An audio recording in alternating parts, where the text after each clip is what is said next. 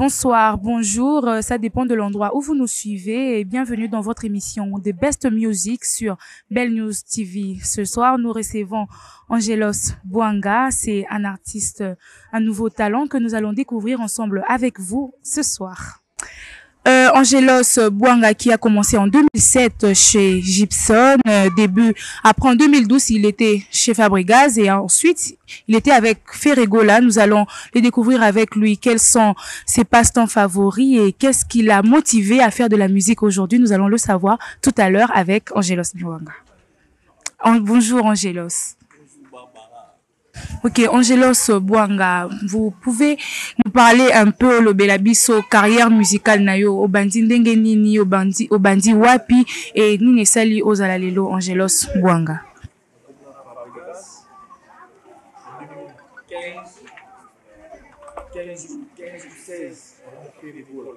D'accord parmi ba titre na yo eza ebele toza na amour vrai, savoir, demande d'amour, police tout ça et nzembo nini oyo e propulse yo oyo esali lelo biso toyeba Angelos Bwanga?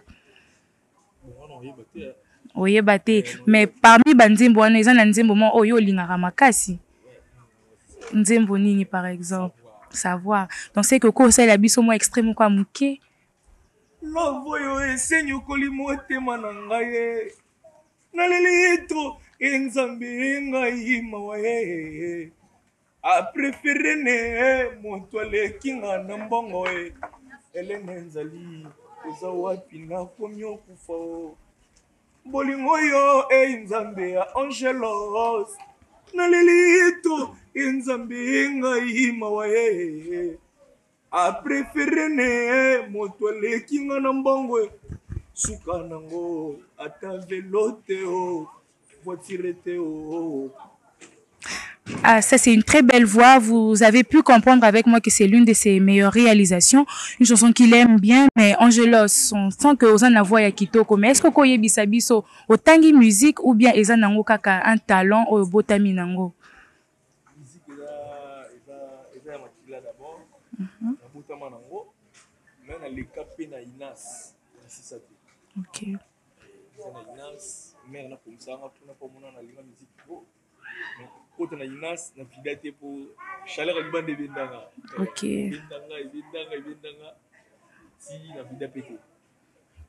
Ok bon tomonaka ba musiciens ebele basalaka ba featuring parce que euh, ça permet de mélanger ba voix ebele genre on entend oyo ayembi oyo ayembi esalaka mwa mélange moko ya bien est ce que ozo envisager un featuring dans les prochains jours ouais, déjà, na studio, na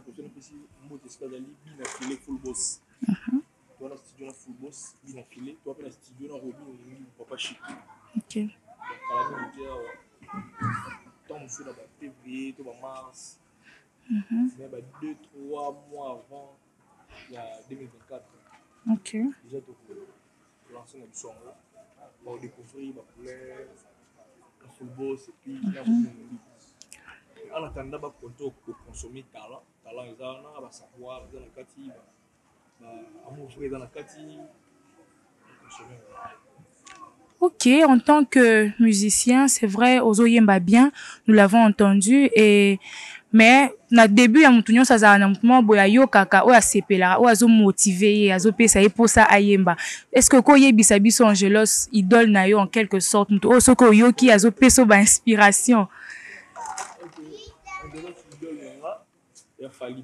okay.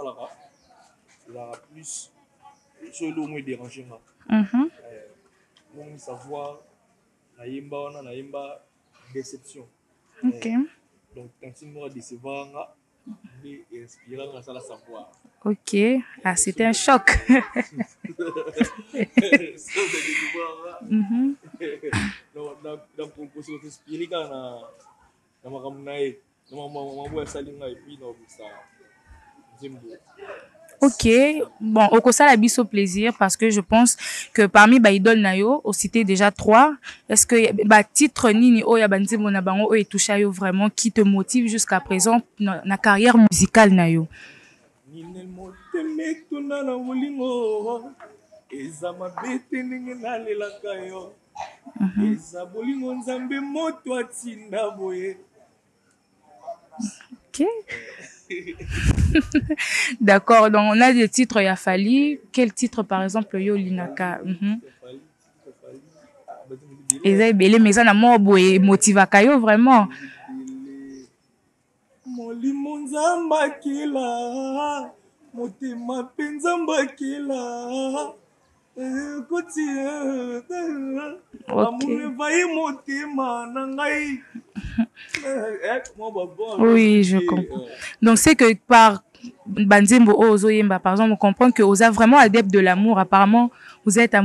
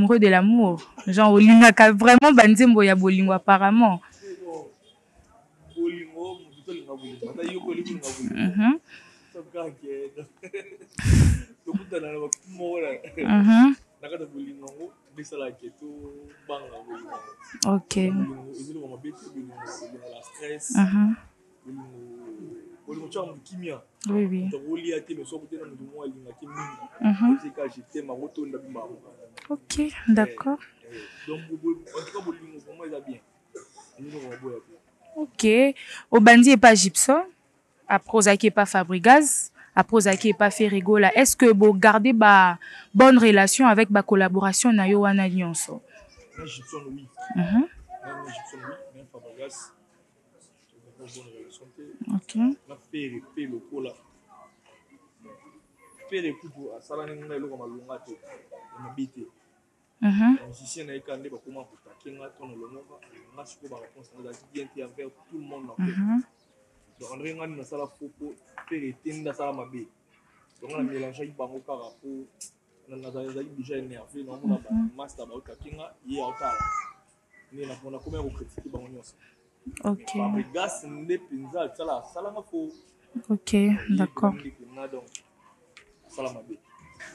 Ok nous avons pu comprendre que boza vrai au martele plus na problème oyo boza na yango na Fabregas parce que avec Gibson bo garder relation ya bien avec Ferregola aussi mais pourquoi qu'est-ce qui s'est passé avec euh, Fabregas pour que lelo bozala na ba relation ya bien te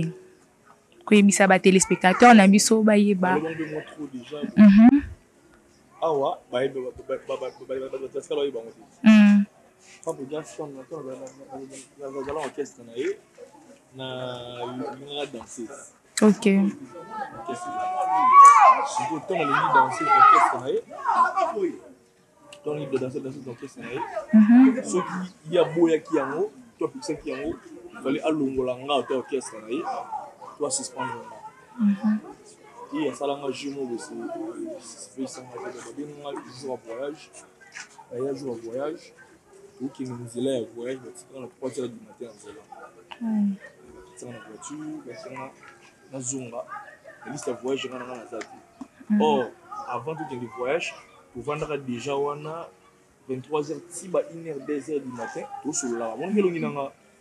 Soki vraiment ayebaki na Voisin te fallait ayebisa nga nazonga palais. Ye afandisa nga nanu alekisa nga heure amema nga na car po atika nga na nzela. Oyo wana eza mauvais souvenir na nga pona Fabregas. Esalaki nga pe na la fallait kaka ki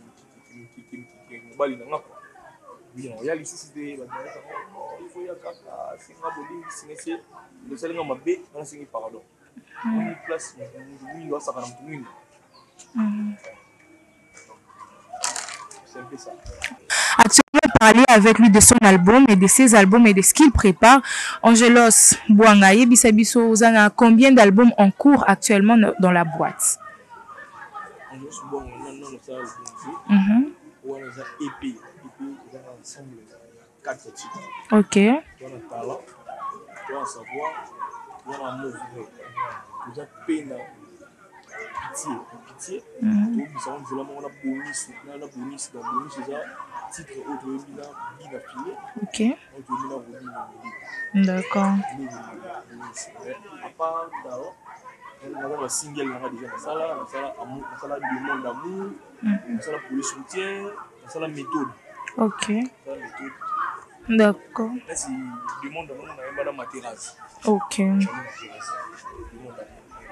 Ok donc oko yebisa population ou ba fan na yo qu'est ce que ozo preparele biso à part ba futuring wana nionso tozela nini dangelos.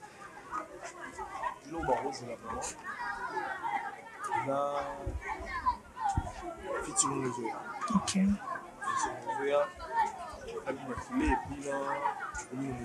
Uh -huh.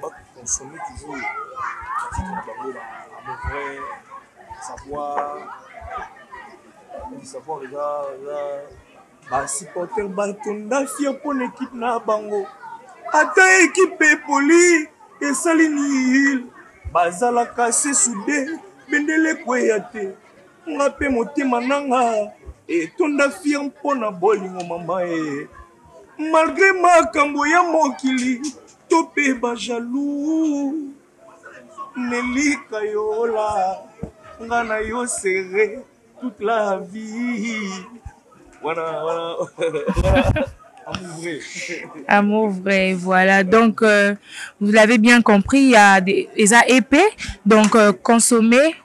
euh, du Angelos Buanga sur YouTube.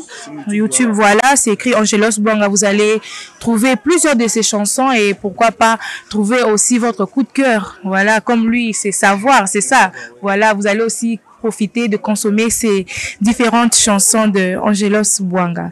Angelos Bwanga l'annee tend dejà à sa fin tozo mona 2024 ezo ya dejà est ce que tozo s'attendre na ba production ya minene na ba concert ou eloko moko ya plus que ce que vous nous avez dejà propose oyo tomonaka dejà oui oui ba production ezo ya ezo ya minene kando olobi wana zoya vraiment eza kaka kopesa temps na temps omoni ezalaki mpe difficile ba découvrir yo déjà ba place nautaki nayembaki te nayembaka te babisanga vraiment te ere na longwe nasali carrière na nga na solo ezalaki vraiment facile te ba découvrir yo male male male mbe tokota bango kati tokota bango kati ti tokota bango na zolo tobina litoi après totya balule bakoya baomona live bakodécouvrir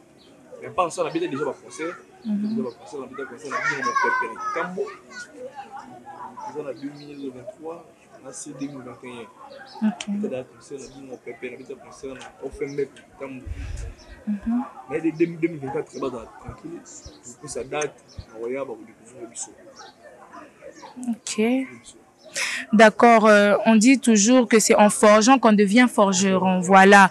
Donc, euh, ça veut dire que na début, pour okoma lelo ojelo ça veut dire orencontre badifficulté ebele mise à part oyo énoncé oyo ya fabrigas mais nini oyo emarka yo vraiment oyo ezalaki difficile na début ya carrière na yo oyo lelo soki otali na nsima olobi Ah aujourd'hui nga Angelos naza lelo boye po grace a ba epreuve oyo nga nazalaka nango bien avant donc obetela biso mwa lisolo ya un truc dur oh, hein, ya mwa pasi oyo viva quoi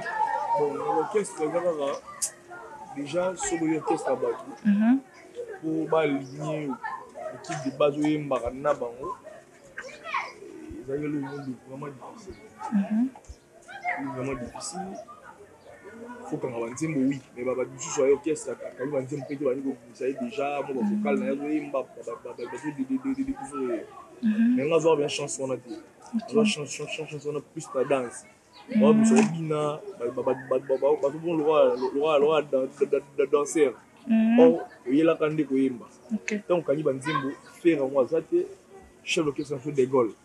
Papeterie, ba biloko moko wana ezala ba musique en tout cas ezalaki vraiment difficile. Ezalaki vraiment difficile ko supporter makambo wana ozala moto olinga musique po okotika na okotika bino ki repetition ozo minda ko bino ki susu te. Po ba po neti nga na oyeba excusez nga na oyeba De Gaulle abenga nga na studio na RTNC. Abengana nga na studio, dernier jour ya studio ezalaki album Qu'est-ce que j'avais dit? Alobi na nga zonga na yo palais lelo eza dernier jour ya studio, Ferre akoki pe ko yokela yo mawa oyembi na album, il faut kemba nanu zonga na yo. Abengana nga na studio parce que dejà affaire ya ndenge wana eko decourager yo mbala moko, mais soki olingaka musala na yo yo nalobaka ngai nakolinga mwana nasala miziki eh, nakolinga te soki osala miziki lobaosala miziki libanda eba biso boya baorchestre koyemba boye nakolinga te po akosala bétise kapo amata podium kapo ayemba kapo voyage asali bétise Ok, ok Angelos, euh, tomoni wana ke ezalaki vraiment difficile, mais aujourd'hui Angelos azosala production na ye, tozomona ye on peut maintenant consommer du Angelos, mais banani oyo ba supporta yo, oyo ba encourageaki yo pona okoma lelo, est-ce que ezalaki facile pona entourage, famille, hein, est-ce que famille epesaki yo accès ou force wana pona oyemba lelo? bon déjà force ya liboso eyuta mpa na yo moko mhm. famille to entourage ekodécourage yo soki adétermine po moto motaka na vie na ye donc na etumba ya la vie otikalaka yo moko mhm. ata botambola 32 mais na etumba ya la vie komonaka ya jour ya mariage ozalaka de personne yo na moto okobala